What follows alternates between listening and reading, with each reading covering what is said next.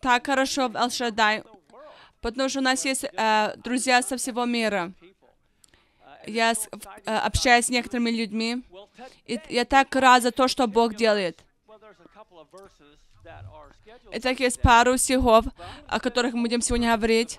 Но я проведу первую часть и вторую о том, как важно этот праздник Сукота или этот праздник Кушей.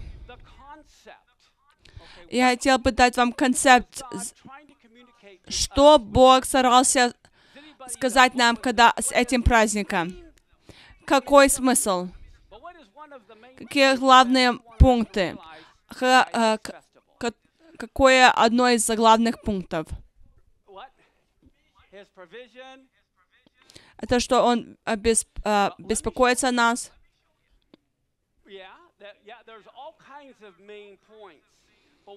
Есть разные Цели в этом празднике. Когда первый Суккот упоминается в Библии? Наши конспекты. 33:17. Бытие journeyed- 33, now, when was 17. Jacob? И-. И это Иаков много лет перед? Моисеем. И Иаков двинулся куда? В what? И построил себе дом. А какое слово для Тайскини? Сокот. И построил себе Сокот для скота своего сделал. И, э, от всего он нарек ему имя Сокот. uh, И так он делает эти uh, палатки. Это, это место, где ты малое, малое время находишься. И это был смысл этого праздника. Наше тело — это временное, ме- э, э, оно временное. И то, что я люблю, то, что я любил делать как ребенок, у кого была палатка, и вы залазили в эту палатку, иногда мама и папа тоже туда залазили, и вас столько... Там было так весело вместе. Это что Бог сделал? Он сделал это все для нас. И этот мир — это временное место жительства. И это мир исчезнет. И потом у нас будет это вечное место с Богом в небе. Подумайте об этом. Где хоронят людей. Наши тела тоже временные. Они тоже временные.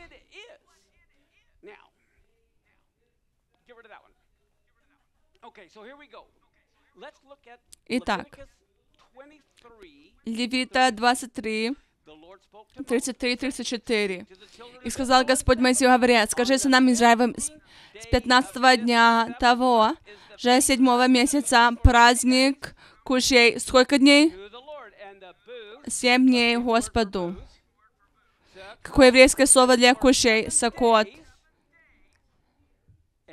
Семь дней. Знаете что? 7,000 years. 7,000 years. Один день с Богом, как тысяча лет. А, Семь дней, и потом все пройдет. От создания Бог празднует этот праздник кушей семь тысяч лет или семь дней. И после этого царства будет новая земля и новое небо. Это почему семь дней? Это сколько дней заняло творение? Семь дней. Так, Бытие Бог создал небо и землю, как это временное жилище для человека, чтобы они там жили. Исайя 51.6. Поднимите глаза, а, глаза ваши к небесам и посмотрите на землю вниз, ибо небеса исчезнут, как дым, и земля обветшает, как одежда, и жители ее также вымрут. Не только наши тела временные, но небо и земля тоже временные эти места. Пе- Второе Петра 1, 13, 14. Справедливым же почитаю, доколь нахожусь этой телесной храмине, возбуждать вас напоминанием, зная, что скоро должен оставить храмину мою, как и Господь Бог наш, Иисус Христос, открыл нас. Это греческое слово для храмину, это то, что временно, это как маленький домик. Это тело, в котором я нахожусь, оно когда-то исчезнет. И Потом я получу новое, которое будет вечное. 2 Corinthians 5:1. We know that if 2 Коринфянам 5.1. Ибо знаем, что когда земной наш дом, это хижина, разрушитесь, мы имеем от Бога жилище на небесах, дом нерукотворенный, вечный. Этот праздник кушей, смысл всего этого, это все временное. Сколько из нас это понимают? У нас все, мы имели близких, которые умерли. Эти животные, которые умерли. Но Бог это создал, чтобы мы знали, что мы сейчас временно живем. Но то, что вечно, оно нас ожидает. Я верю, что это произойдет скоро. Вот земля и солнце. И знаете, что произошло? Самый первый праздник кушей. Когда был самый первый праздник кушей? Бытие, сотворение. Бог жил с Адамом и Евой. Тоже хочу, чтобы вы заметили. Те, которые... Это гр- греческое мышление, которое неправильно. Церковь не понимает эти пророчества. Они думают, что это опять не произойдет. Это неправильно. Вот это праздник кушей. Когда мы сказали, праздник кушей исполнился, он исполняется опять и опять. Вот наше время. После сада Демского Бог их оттуда выгнал, но Он хочет опять жить с нами. Итак, этот праздник куши опять произошло с Кенией и Моисея, и потом опять с храмом Соломона.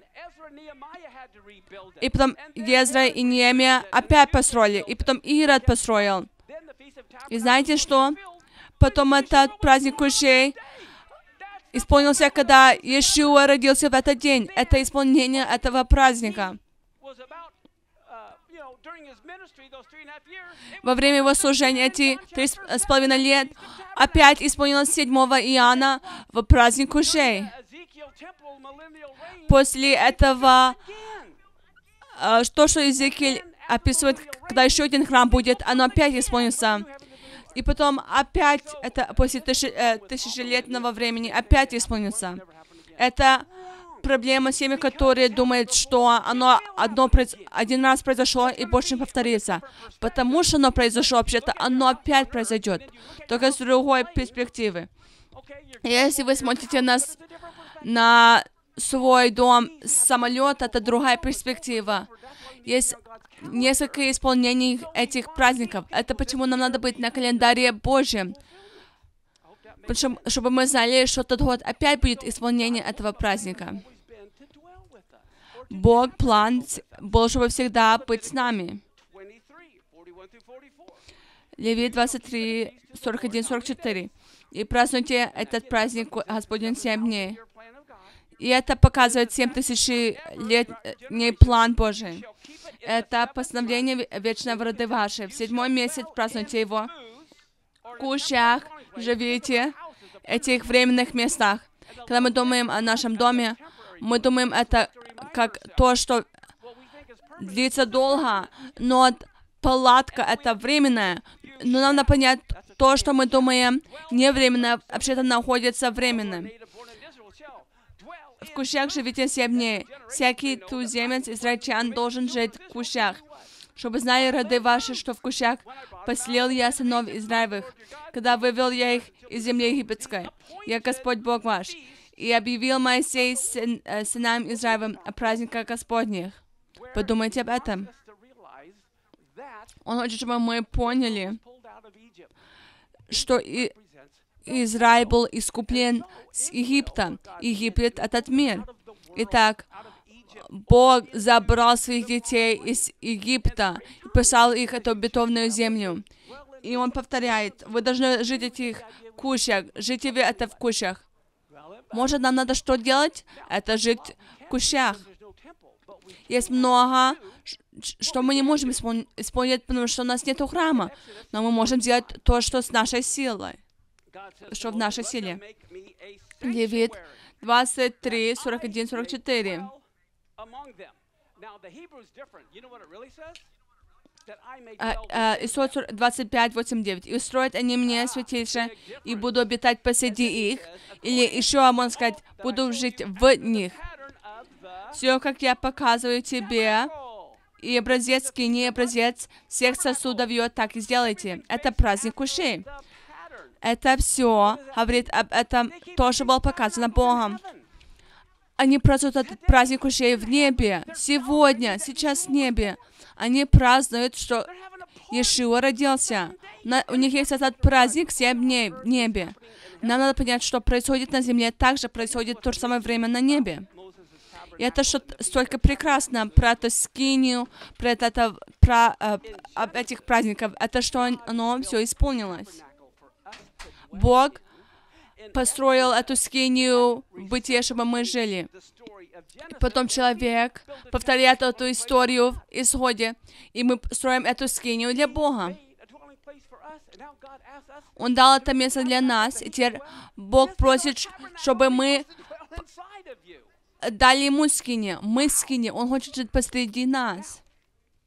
Look at John 1:14. Итак, Иоанна And the Word 1.14. was made flesh, and what? И Слово стало плотью и обитало с нами.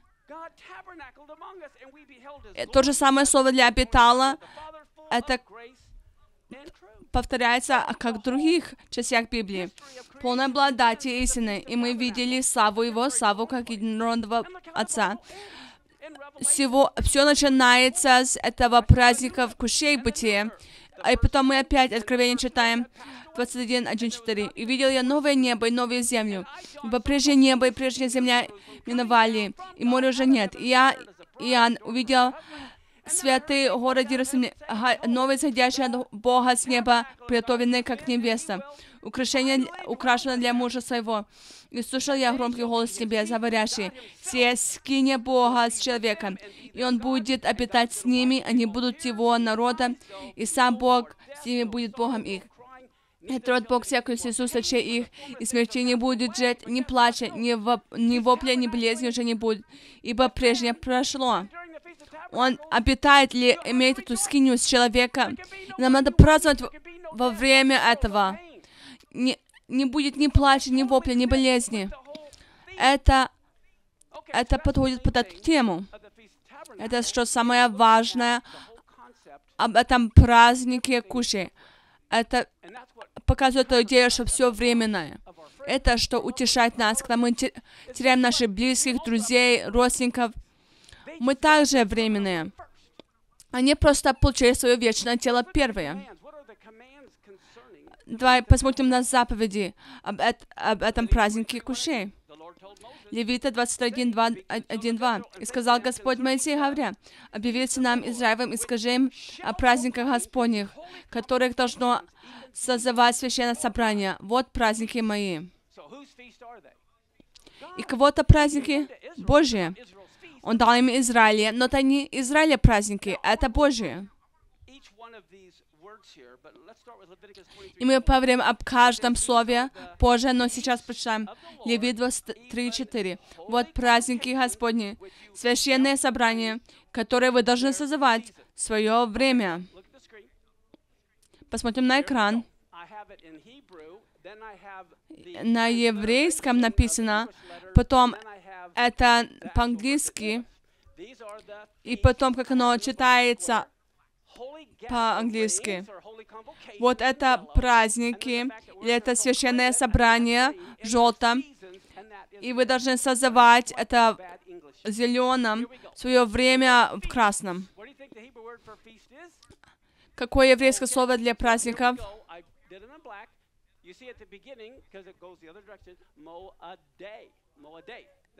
Называется Моадей. Это праздники. И сам вверху, слева направо, мы читаем Моадей. Это времена, которые определили. Также есть это слово «собрание», и в желтом сверху мы видим «микро», «микро Эй», Это означает, это святое собрание или практика, когда одевают, э, одевается прежде времени. И потом есть э, в зеленом созывать, это слово текеру. Есть это корень кара, это провозглашать. Нам надо провозглашать эти праздники. Это почему у нас есть эт- этот календарь. Это почему мы говорим, все должны исполнять эти праздники. Но вот и что самое прекрасное, в красном, если эти сезоны или время, если э, праздники это Моэй, что это сезоны? Бемо-1 или Бемо-Адам.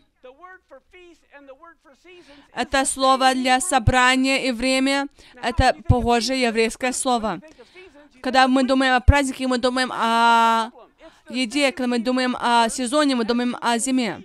Это то же самое еврейское слово. И нам надо понять, что в английском, когда а, упоминается то же самое предложение, это то же самое слово. Это время, которое определил Бог. Это время, которое Бог решил. Я хочу, чтобы вы поняли, как важно это. Я решил так сделать. Что происходит 15 апреля? Это время для таксов. А что если мы, мы сказали, вместо в апреле мы сделаем это в июне? Можно передвинуть его? Нет. Или 4 июля. Если мы скажем, давайте будем праздновать 4 июля, 3 января. Как мы можем праздновать 4 июля, 3 января? Но 14 Ниссана, которое Паса, говорят, что это 21 Ияра, они передвинули, потому что они не следуют за этим библейским календарем. Это Бог решил, что 4, 14 Ниссана и 15 и это почему они происходят 14 и 5 Ниссана. Бог превыше босс, чем АРС, те, кто отвечает за таксы. Если вы празднуете 4 июля, 4 июля, и платите таксы 15 апреля, платите ваши таксы, так 4 Ниссана вы должны праздновать Пасу. Вы не можете ее изменять. У Бога есть это время. Это всегда было написано в камне. Это от фундамента мира. Это было сначала. Я верю, что э, Авраам исполнял Пасу. Может, оно изменилось, когда с временем, но он праздновал каждый праздник. Это почему я написал э, Божий дневной таймер.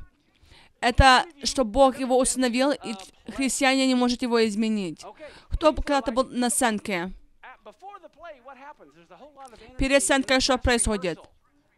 Есть это время, когда практикуется и одевается. Им надо, как наша команда, она имеет эту репетицию перед пением, как астронавты. У них тоже есть эта репетиция перед тем, как они летят, летят на Луну. Когда говорят эти собрания, это означает, что эти праздники были, это репетиция, когда одевали и практиковались. Итак, 14 Ниссана они это практиковали, потому что когда-то он умер, как этот агнец на кресте. Если мы изменим календарь, мы даже не узнаем, когда эти пророчества исполняются. Кто из вас здесь женат? Однажды в жизни. Когда вы женили или вышли замуж, я надеюсь, что вы договорились об этом дне и согласились. Или в этом времени, или это бы никогда не произошло. И если учить на этом обеде Ангца, Мессии, нам надо прийти туда, когда Он решил, не когда мы хотим. Это эти аппоинтменты небесные. Когда она говорит провозглашать, означает, что те, которые уже были задействованы, Бог лично приглашает вас на этот праздник Сына, он даже принес свой лулав и эстраг. Это то, что Бог решил. Кто знает, и говорят, что здесь происходит. О, я с ним, я с ней. Если меня спросят, могу я сказать, это Бог ведет, не я. Это что я с Богом э, лечу. Бог должен быть вашим пилотом, не тот, кто возле пилота. Leviticus 23:4. Look how they translate the very same verse. Левит 23.4. That's the Смотрите, как не переводят этот стих. It says, "These are the appointed Вот. seasons of the Lord." Это времена, которые Бог избрал. Даже священное собрание, которое вы должны провозглашать свои сезоны. Но это должно быть в Моади. Когда время о свадьбе, или говорят, что опаздывать, мне надо поспешить. Zephaniah 1:7. This is where Сафония 1.7. mentions in the gospel refer back to this. Это когда а, 1:7. это Библия, а, Новый Завет упоминает. И полни пред Господа "The Lord Бога, ибо близок день Господень. Уже приготовил Господь жертвенное заклание. Назначил, кого позвать. Он уже послал типа приглашение, чтобы они пришли. spoke a parable, and said, "The kingdom of heaven is like a certain king Матфея 22.1.3. Иисус продолжал говорить им, притчем сказал, «Царство Небесное подобно человеку, царю, который сделал брачное для сына своего и послал раба своего э, созвать званых на брачный пир, и не хотели прийти». Можете поверить, что есть люди, которые не хотят прийти на ту свадьбу даже после личного приглашения. Uh, Здесь есть свадьба,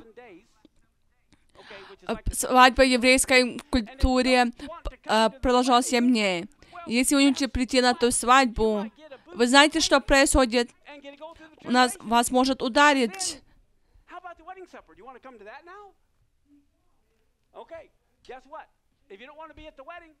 Then you can go through the tribulation and you can be invited to the wedding supper if you'll take that invitation. Look at this, Matthew 22. It goes on, 11, 14, 11 through 14. When the king came to see the guests, he saw a man which didn't have on a wedding garment. And he said to him, Friend, how Читаем дальше, Матфея didn't have a 22, wedding garment?" 1, And he was speechless. And the king said, 11-14. "Bind him and Царь, have him войдя посмотреть воздержавших, увидел там человека, одетого в брачную одежду, и говорит ему друг, «Как ты вошел сюда не в брачной одежде?» Он же молчал, тогда сказал, царь слугам, связав ему руки и ноги, возьмите его и бросьте во тьму внешнее.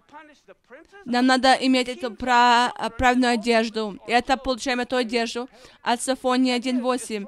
И будет день жертвы Господней. Я посещу князей и сыновей царя, и всех одевающих одежду иноплеменников. Означает, когда мы стараемся прийти на этот праздник своей праведности, своей одежде, вместо этой одежды, которую царь приготовил. Откровение 19.9. Это что происходит, которые не пришли на, на этот брачный пир. И сказал мне ангел, напиши, блаженные званы на брачную вечерю Ангца. Есть те, которые пройдут через это испытание, но не попадут на этот ужин или вечерю. Луки 12, 37, 37. Да будет чресло ваши припоясаны и светильники горячие, и вы будете подобны людям, ожидающим возвращения господина своего с брака. Вы не были на браке, но он можете присутствовать, когда он возвратится. Дабы, когда придет и э, постучит, тотчас отворит ему. Блаженны рабы те, которые господин, придя, найдет по- постру- э, пострующим. Истинно говорю вам, он припаяшется и посадит их, и, подходя, станет служить им. Так что мы находим?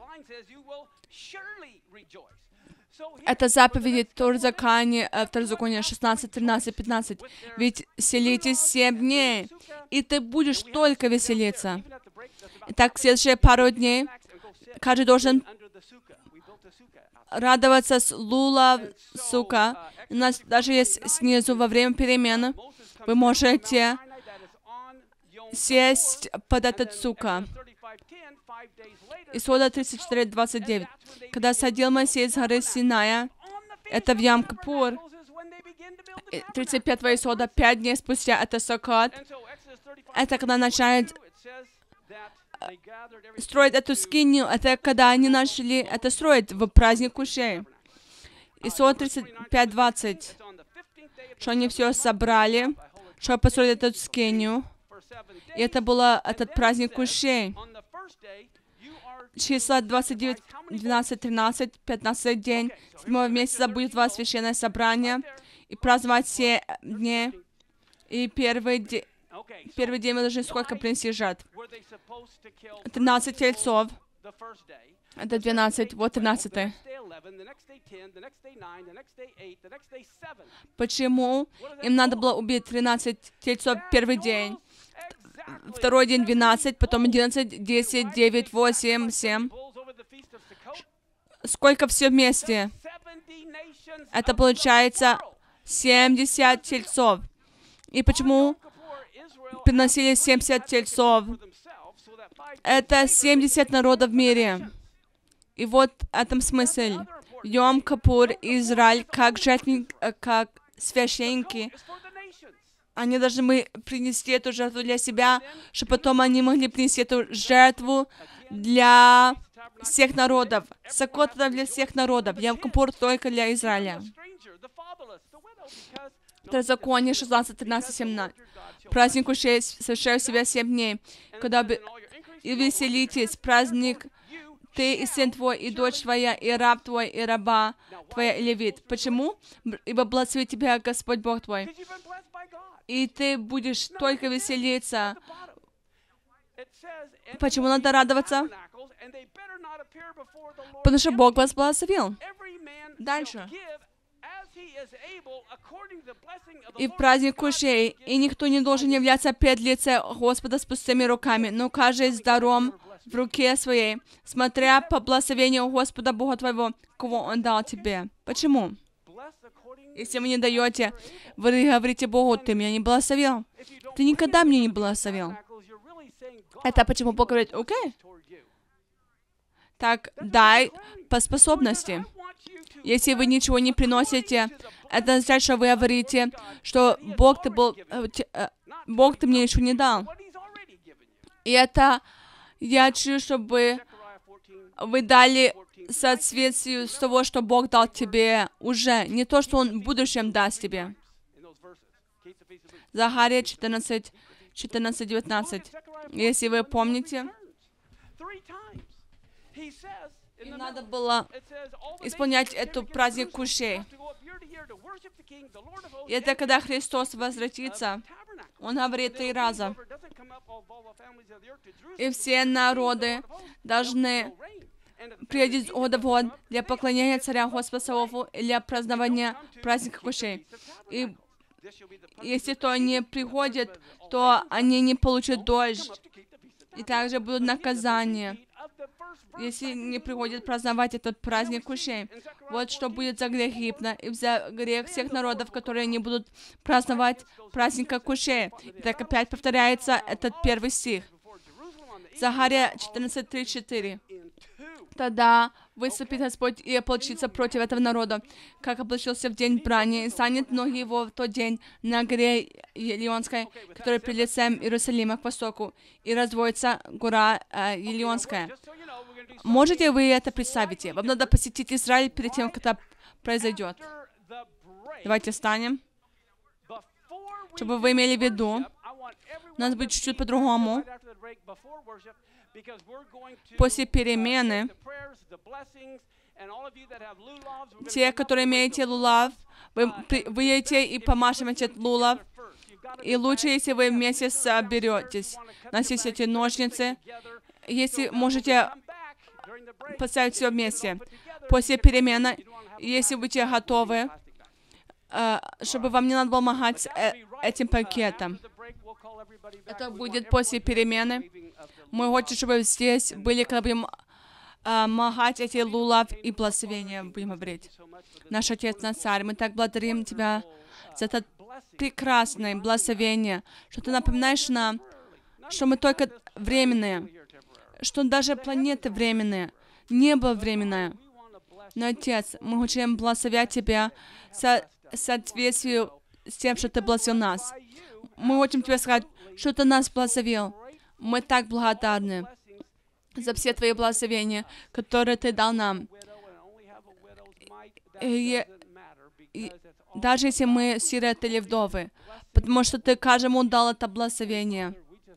Итак, Мы благодарим Тебя, что мы можем все быть этим светом к народам и при- приводить этих потерянных детей к Тебе. Я прошу, чтобы Ты нас опять благословил и продолжал благословлять тех, которые приносят эту, этот свет к народам. Смел всего этого Тебя. И это цвет Твоей Торы.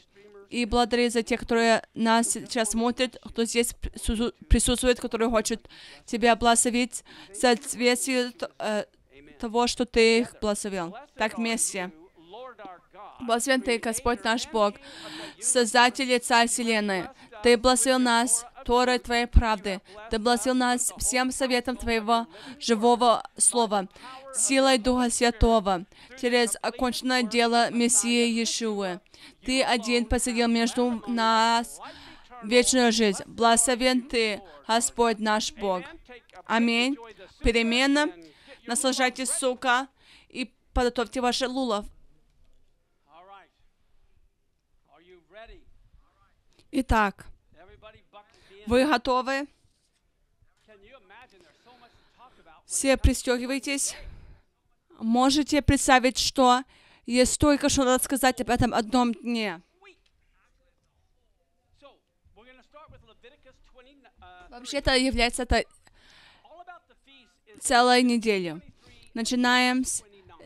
That's where it talks about that. Левитам 23. И Это где-то находится описание этих праздников. А 15 день седьмого месяца, это сегодня, когда вы соберете произведение земли, празднуйте праздник Господень семь дней. Первый день покой, даже если сегодня была среда, оно бы стало субботой. Или, но сегодня у нас есть две субботы. И восьмой день. Почему восьмой день? Uh. И я поговорю об этом э, дне на следующей неделе. Это очень большой, э, э, главный день. А потом возвращаться к сегодня. Первый день. Возьмите себе ветви красивых дерев, ветви пальмовые, ветви дерев широколиственных и верб речных. И что? Веселитесь перед Господом Богом вашим семь дней. Вы знаете, как трудно людям не возмущаться. Семь целых дней. Нельзя вообще возмущаться. Итак, я пишу, а, объясню это символику всех этих разных ветвь.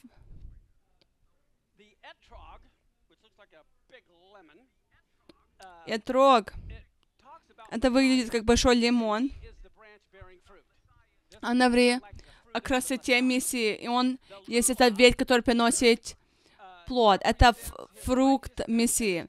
Лулав From Psalms 92. — это его праведность и сила спасать. The myrtle С пса- represents Псалтырь praise and rejoicing, 92.12. willow Мир, represents Messiah's хвала и ликование. И ива это смирение, страдания слуги Христа. Это чем вы ему поклоняетесь. Итак, придем к Исаю. Вот это гора Olives? Кто был на этой горе? А кто хочет увидеть эту гору? Итак, Look at Isaiah 2, 1 through 5. Here's вы не хотите это пропустить? Исайя 2, It says, "It'll come to pass 1 when, до 2, 5. Слово, которое было last видение к the сыном Мосову, Иудее house и Иерусалиме. И будет когда? Последние дни э, гора Дома Господня будет поставлена во главе гор и возвысится над холмами, и потекут к ней все народы. is about. It says, "Many people will go and say, Это что э, в Загарии мы находим. И пойдут многие народы и скажут, придите и взойдем на гору Господню, дом Бога Иаковлева. Не интересно ли это? И научит Он нас. Он будет здесь, и Он будет нас учить своим путям, и будем ходить по стезям Его. Ибо от Сиона выйдет что? Как мы можем избавиться от Него, если это тысячелетнее царство начинается, и это что Он учит? Кто верит, что Бог меняется? И какие-то другие проблемы, скизофрения. Если закон был раньше, и если закон будет хороший в будущем, почему он не хороший сейчас? И Слово Господне из Иерусалима, и будет Он судить народы, обличит многие племена, и перекуют печи свои, и перекуют мечи свои на орала, и копья свои на серпы, и не поднимут народ на народ меча, и не будет более учиться воевать. О дом Яков, э, придите и будем ходить во свете Господне. chapter 4, 1 and 2. Это подтверждается двумя свидетелями. Читаем Михея 4.1.2. «И будет последние дни, город, э, гора Дома Господня поставлена будет во главу гор, и возвысится над холмами, и потекут в ней народы. И потут многие народы и скажут, «Придите, взойдем на гору Господню и в дом Бога Якова, и Он научит нас путям своим, и будет ходить по стезям Его. Ибо от Сиона выйдет закон». Это что будет на этой планете, в которой мы живем. Это как выглядел храм Соломона. И первое царство, третье царство, 8.2. at the feast in the И собрались царю Соломону на праздник все израильтяне в месяце Афаниме. Это седьмой месяц. Теперь мы его называем Тишри. Это когда все израильтяне собрались, когда собирались посвятить этот храм Соломона. 14, there were Второе правили Поминон. priests who were 5, trumpeters. 12, 14. The 120, music, которые трубили. И музыка с кимвалами, с make и themselves цитрами. И это этот праздник кушей. И- и были как один. Трубящие и поющие, завая один голос с- к восхвалению славословию Господа. И когда загремел звук труб, и кимвалов, э, кимвалов музыкальных орудий, и восхваляли Господа, ибо Он благ, ибо вовек милость Его. Тогда дом Господень наполнился облаком, и не могли священники стоять на служении по причине облака. Знаете, как оно число тот день? Они были все вместе. Почему это пр- произошло в Деянии? Они были вместе. Were coming произошло were когда Рон и Моисей освещали скинию, потому что они были все вместе, как один. В Пятидесятницу, Пасху, когда все вместе. Go to this. Look at 2 Peter 1:16. Услышьте это. It says, 2 "We Петра have not 1:16. followed cunningly devised Ибо мы возвестили вам силу и пришествие Господа нашего Иисуса Христа, не хитро слепными баснями последуя, но быв очевидцами Его величия. Where did this is the Mount of Ва. Transfiguration, right? That's when he saw. So Это гора, где он преобразился. Если, когда они увидели Моисея и Елисея и увидели Христа там, кто-то знает, какой этот день произошло? Это было в Сокот. But look at Я это вам докажу. Но заметьте это. Они стали свидетелями Мессии.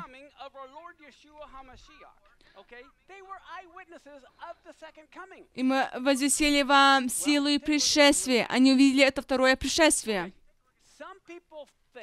Посмотрим на эту карту. Некоторые думают, что это преображение произошло на горе Табор. Католики и верующие. Другие верят, I'm going to что это произошло в горе Хермон. А я вам скажу, где оно по-настоящему произошло. Как я знаю, потому что я читаю Библию. Verse.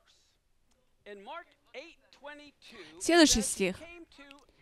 Марка Okay, 8.22. there he was, Приходит в Вифсаиду, где он был. Then he went over to Bethsaida. Он был в Магдале, потом он перешел в Вифсаиду. Вы видите, где гора Табор? Now look at Mark 8:27. Переходит с Магдалы к. Вифсаиду. This is like five verses. 8.27. И пошел Иисус, то же самое глава, это пять стихов спустя с, э, с учениками своими, селению Хесаря Филиппивовой. Вау. Мне интересно, какая гора, мы думаем, поближе к этой, этому городу? Это где я живу. Все это знают. Вот видите, это гора hill? И вот это, это возле hill. Я живу сверху Бонни Лейк. Это называется горка. Это называется горами. Это называется высокой горой. Is 608 feet. Бонни Лейк — это холм, это 608 фит. А гора Табор это 636 Valley. Okay. I фит. Это то же самое, как это гора, холм. Okay, 636 feet. Н- Должны лучше были его называть холм Табор. Это 630 Mount Hermon, футов. Это холм. 9,232 feet. Гора Хе- Гермон — это It's not 9000 here, but it's a pretty high mountain. фут. Это высокая гора. Не такая высокая, как Rainier, но все равно высокая гора. Но когда мы смотрим, какое направление они шли, это была э, гора be И сказал им, говорю which вам, есть некоторые стоящие здесь, которые не вкусят смерти, как уже увидят, что Царствие Божие, пришедшее в силе. И по прошествию дней шести, шесть дней, шесть тысяч лет. 7,000 И потом. Мессия возвращается в седьмой день. Взял Иисус Петра и Якова и mountain и возвел на гору какую? Высокую особо. Не them. Хом, их одни. И coming пред ними. Что они увидели?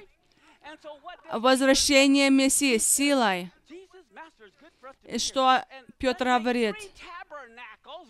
Отец, а, Elijah. Петр сказал? Иисусу, Рави, хорошо нам здесь быть. Сделаем три куши, тебе одну, Моисею одну и одну. Или synagogue это произошло во время. Праздника кушей. Это почему он хотел их построить. Это скини или куши. Какая идея? 6,000 years. And we see that again, Шесть дней, шесть тысяч лет.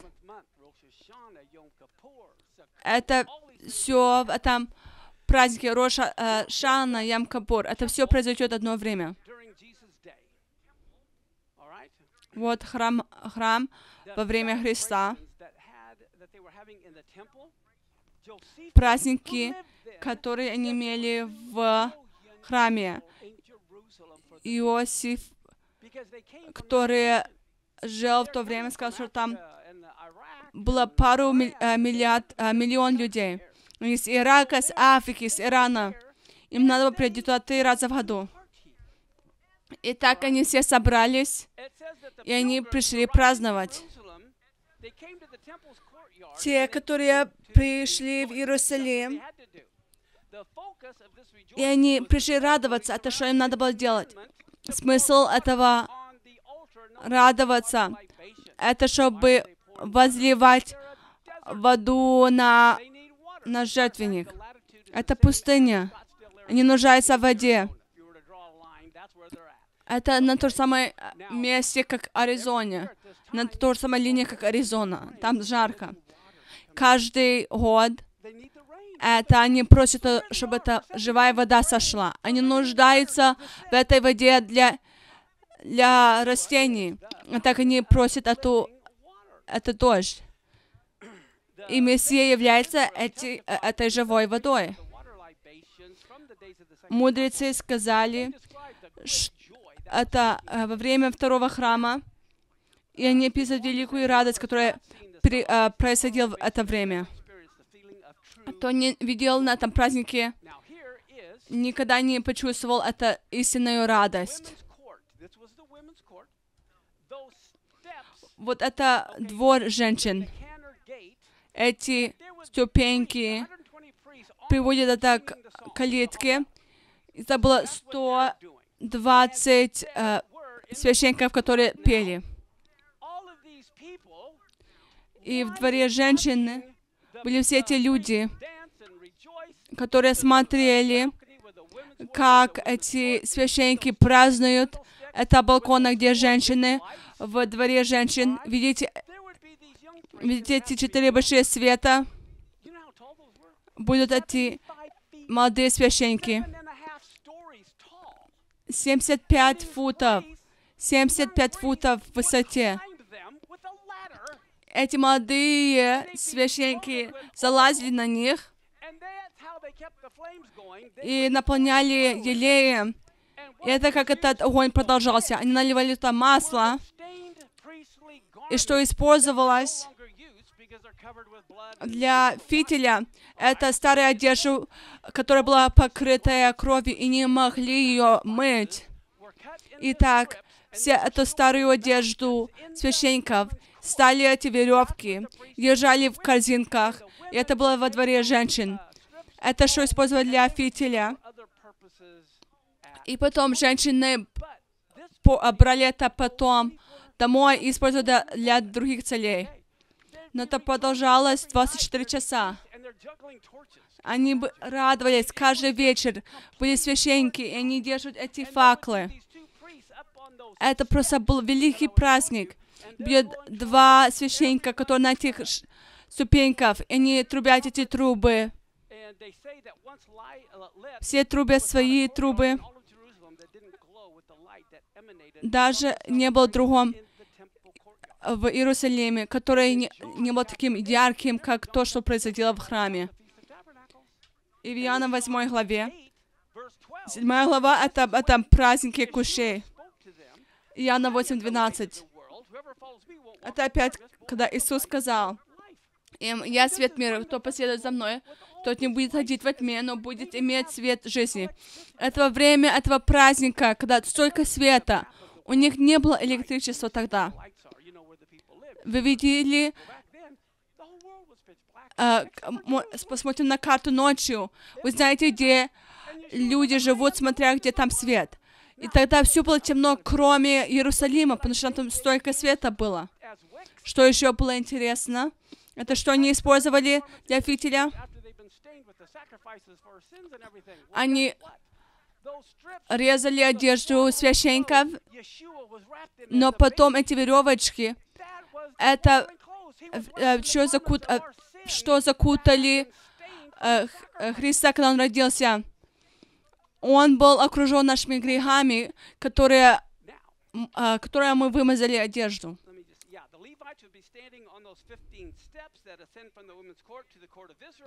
Они стояли на этих 15 шагов, э, ступенек, и на, играли на разных инструментах.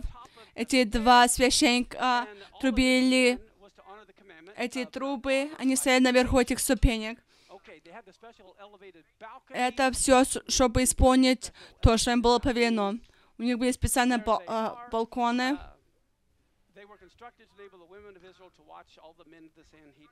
Они были построены, чтобы женщины могли наблюдать, когда Санхендрин э, там радовался пред Господа. Два миллиона людей. Место было заполнено людьми. Потому что это была э, заповедь, чтобы быть там. Два, там два миллиона людей. Это 24 группы священников, которые разделили на три группы, где было 8 людей. Они все должны были служить ту, де, э, ту неделю, потому что они приносят столько тельцов. Потом евреи еще э, жертвы приносят. Это одна группа. Все, что она делает, они убивают этих, э, эту жертву. Другая группа, другие э, две группы священников, у них другая ответственность была. Одна отвечала за эти водя, э, водяные ворота. Э, за это отвечал первый священник. Если знаете Иерусалим, у них есть этот калитка с юга. Это ведет с этого города в этот бассейн Солом, потому что там была живая вода. Можете это представить? 2 миллиона людей, тысячи священников, и они все участвуют. which was headed by the second group, headed by the И high так то церемония, Э, первосвященник отвечал за это, спускалась к had Вот идут купания proceeded У него была эта золотая чаша. И на рассвете все с мелодиями, песнями направлялись к купальне Силоом.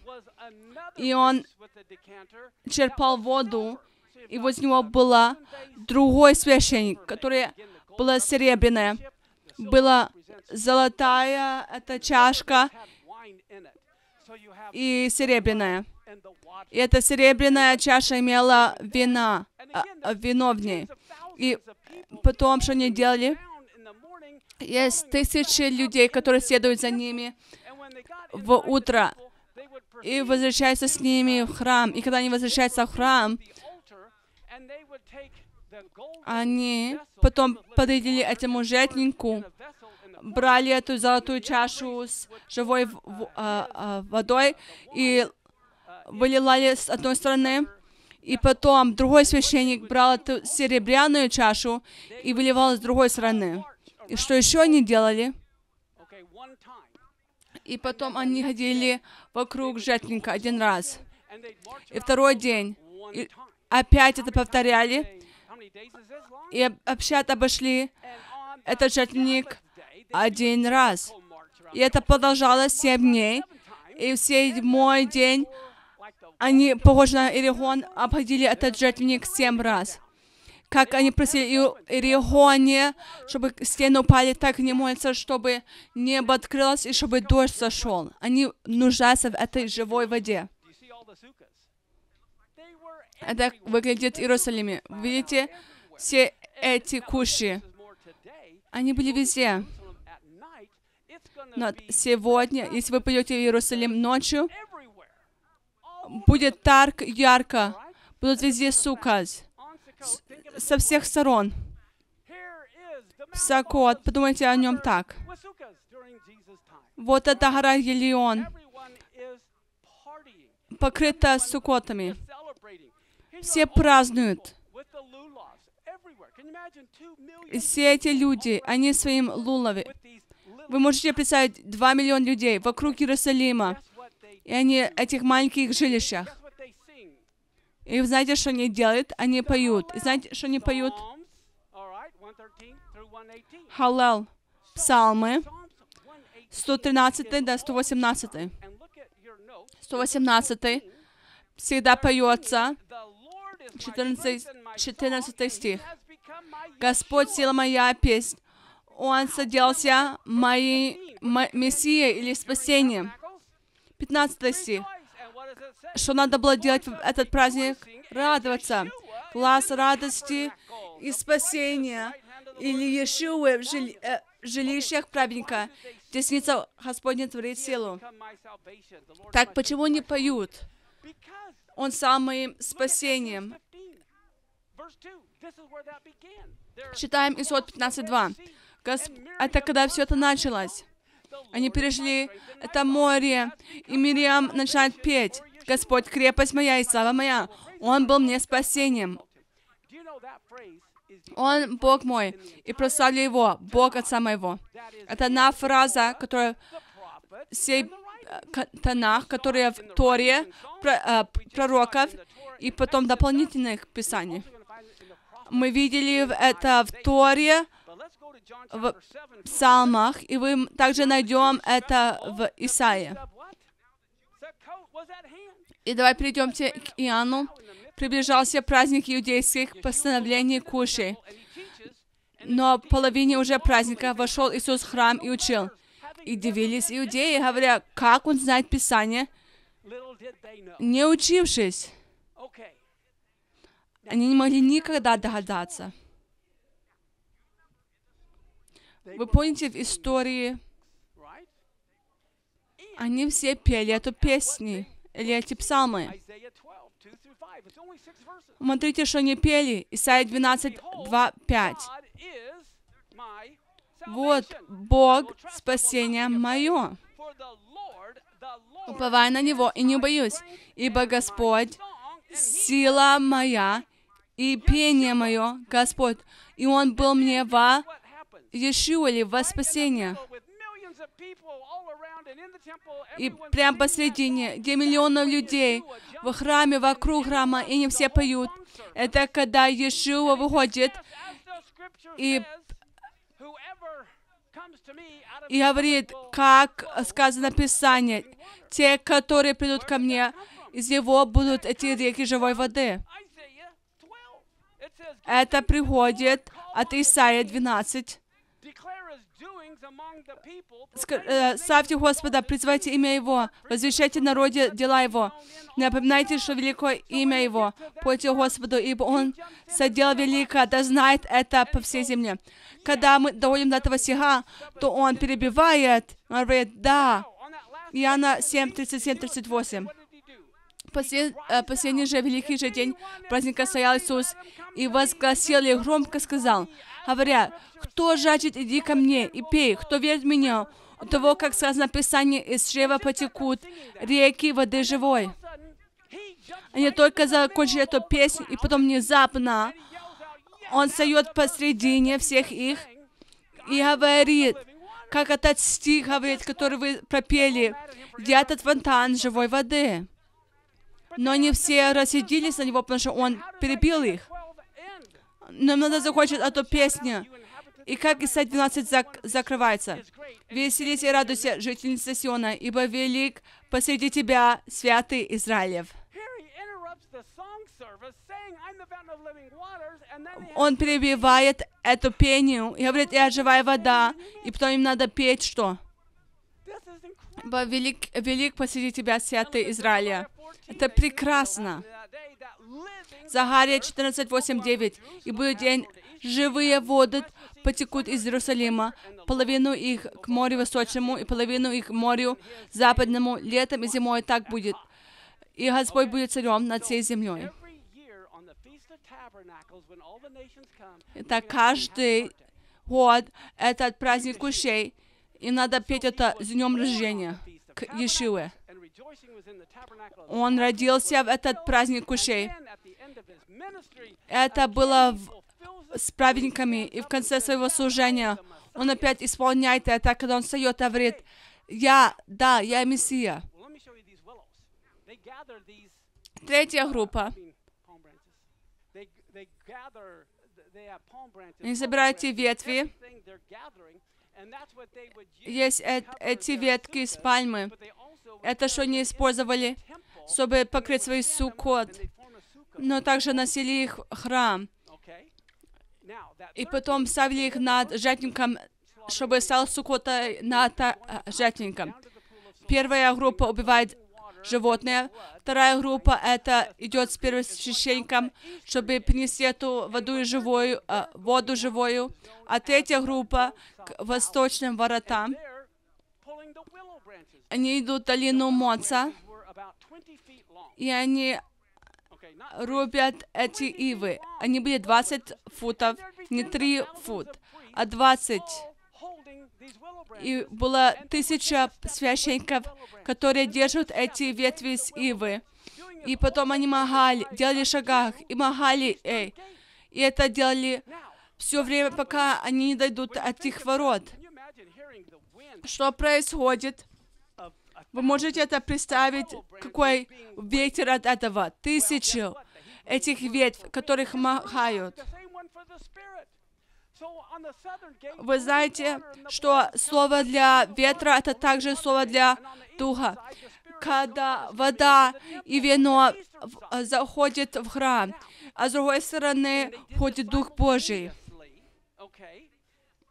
И это делает то же самое время. Когда каждая группа доходила до своих ворот, был священник, который стоял сверху, на, который стоял на той стороне, и когда они дошли до посередине, то он их останавливал. Потом священник начинал играть, и потому что... Потом, и он э, играл на тафлейте, который призывал, чтобы эта вода и ветер за, заходили в, э, в храм. И это показывает нам на Мессию. Мессия. fall of 4 BC. Он родился осенью четвертого года до нынешнего эра. Э, Это праздник кушей. И все народы приходят к нему, его день рождения, чтобы признать его царем. И это когда будет полная луна. И будет день рождения, праздник его день рождения, как никогда раньше, тысяча лет. Of 3757. Он родился 37 в этот год 3757. 4 BC. He began his 3757. ministry at almost 30 years old. Это ч- In the fall of 4 лет до 37, нынешнего эры. 86 in И потом начинает служение which is 26. 30 а, когда ему 30, And he это год in the 37, spring of 86. 3790, or Потом умирает весной 37, 90 gives you an год. idea. Или 30 лет нынешнего эра. И это показывает нам, когда это все произошло. И все народы look at Luke 2, должны 6 and 7. прийти в это время.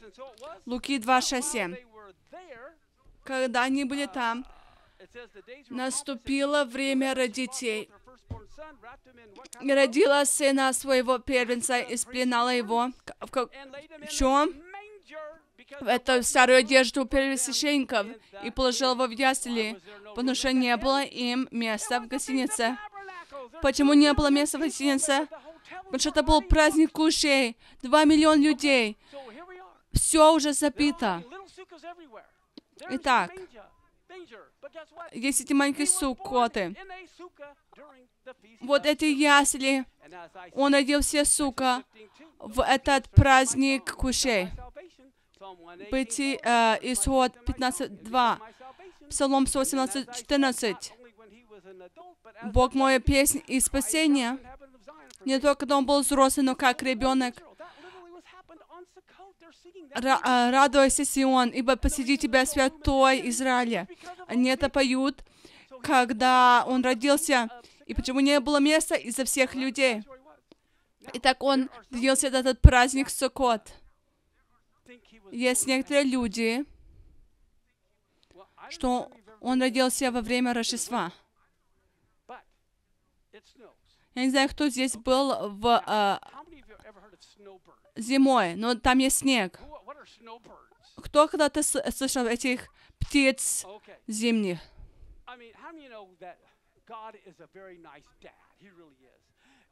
Think Кто знает, что Бог это добрый отец? Вы думаете, Бог э, скажет ей идти в Иерусалим посредине зимы, но в Суккот все идут туда, в больших группах, они защищают друг друга. а- а, в своей тележке. Я бы не хотел а, ехать на верблюде, когда мне а, уже 9 месяцев беременная. Но, говорит, нету места в гостинице. Все пойдут, поедут Аляску посредине зимы, они едут в Аризону. И кто хочет быть в Аризоне посредине лета? Никто. Они хотят быть в Аляске. И когда они думают, что он родился в Рождество, это странно. Было бы очень много места в, э, в гостинице, если бы он туда поехал зимой. Но во время праздников, когда есть заповедь, чтобы все там были, там, конечно, не будет гостиницы. Другие думают, что он умер в Пас, э, родился Пасху. Я думаю, это глупо, потому что как долго продолжалось его служение? Три года.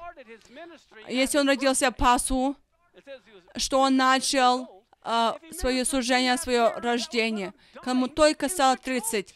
Если он. Служил 30 лет, тогда он бы умер в Суккот, не в Пасху. Но если он родился в Суккот, послужил эти три года, и тогда, конечно, он бы умер в Пасху. Here. Итак, будем заканчивать это. uh, Luke 2, 20 and 22. The shepherds return, and again, shepherds aren't out in the Луки field 2, in the middle of 20, winter 22. in Israel. и возвратились пастухи. Пастухи не на поле посредине зимы. Славя и хвала, хваля Бога за все, что слышали и видели, как им сказано было. По прошествии восьми дней, когда належало обрезать, дал ему имя Иисус, нар- нареченное ангелом прежде зачатия его чреве. Если он родился первого сокота, он был обрезан восьмой день, и это подтверждает э, этот обещание, которое дал Аврааму про обрезание. И после 30 дней они видят Иешуа. И не знают, что это он. Закончим этим. Вы хотите это сфотографировать или хороший конспект написать об этом? Будем это заканчивать. Исайя 9, 6, 7 стих. «Ибо младенец родился нам, сын дан нам, владычество на раменах его». И, нареку, и а, кому-то обращается к Иешуе. «И нарекут ему имя чудный, советник, Бог крепкий, Отец вечности, князь мира, умножение влады- владычества его и мира нет предела на престоле Давида». Значит, он будет еврей от колена Иудова. Царствие его, чтобы ему утвердить его и укрепить его судом и правдою, отныне до века. Ревность Господа Савофа соделает это. Значит, он будет от линии Давида. Матфея 1, 20, 23.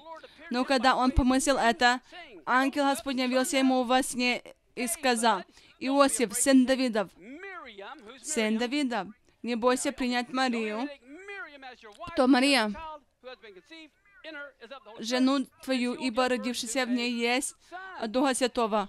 Родит же сына, и наречешь ему имя Иисус, ибо он спасет людей своих от грехов их. А все сие произошло, да сбудется реченное Господом через пророка, который говорит все, «Дева в чреве примет и родит сына, и нарекут ему Эммануил», что значит «с нами Бог». И я покажу, откуда это где-то найдено.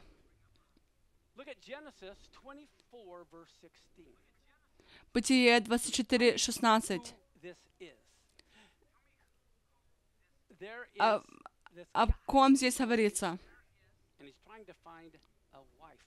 Если этот человек Елиезер, и он старается найти жену для Исаака.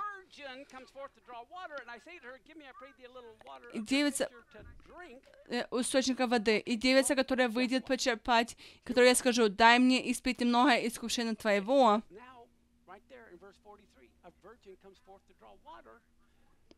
сорок третьем. Девица была п- вид- э, э, прекрасным видом дева.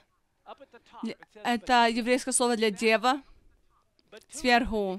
Батула. Бетула. Это дева, бетула. Это слово для девы. Бетула всегда, она всегда является девой. В 43 стиху, Бытие Бытие 24, 16. Девица была прекрасным видом, дева, которая не познал мужа. Она сошла к источнику, наполнила кувшин свой и пошла вверх. Следующий стих.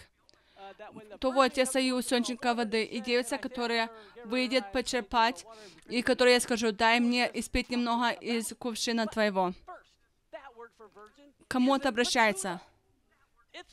Но это слово для дева, это не бетула, это алма в втором стиху. Так говорят об то же, то же самое девушке. Одна на- э, называет ее девой, но то же самое девушка называется, теперь называется алма.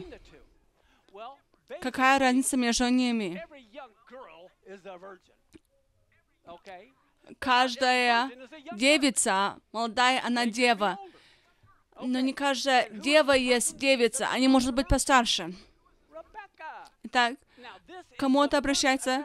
К Ре- Ревекке. Это первый раз, когда это используется. Она обои называется и Бетула, и Алма.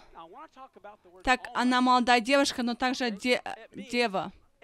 Так, по время Алме Означает Exodus 2:8, маленький ребенок. uh, Мы читаем Исход older 2.8. sister, "Go, Дочь фараона сказала э, ей, mother." сходи, девица пошла и призвала мать младенца. Какое слово, вы думаете, здесь используется для девочки?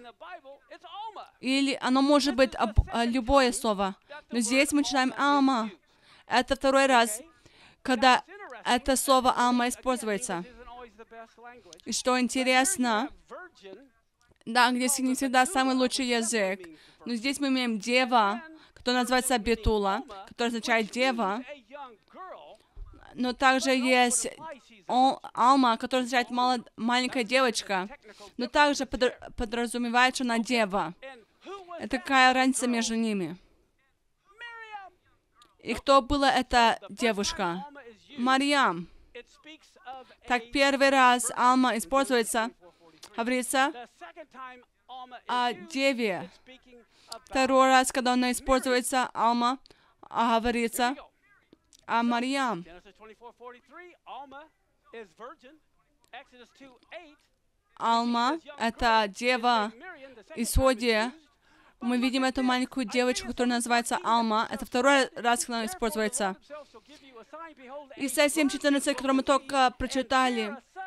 Сам Господь даст вам знамение, все дева в чреве примет и родит сына. Это третий раз, когда используется это слово «алма». Это почему евреи а, говорят, что тут не упоминается слово «бетула», только, только «алма». Но «алма» может означать «дева» также. Оно означает «молодая девушка». Но я могу показать стихи, где «алма» — это дева, потому что Ревека называется Алма, но она была также девой. Так что мы здесь находим? Первых три раза, когда это слово «алма» используется, есть дева, которая имя Марьям или Мария, и она родит сына, и она назовет его Бог с нами, и он будет сидеть на а, троне Давида. Три раза, когда Алма используется, это дева по имени Марьям или Мария, и она родит сына, и мы назовем ему имя Эммануил. Не интересно ли это? И закончим этим. этим. We're going to pray and then we're going to eat. Помолимся и потом по- а, покушаем.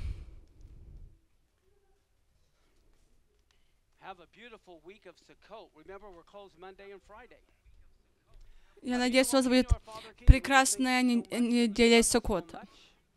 Наш Отец, наш Царь, мы так благодарим, что Ты так нас любишь, что не только хочешь нас благословить, но Ты хочешь положить Твое имя на нас, что Ты хочешь назвать нас своими детьми. И мы так Тебя благодарим. И как Ты повелел Моисею сказать Арону,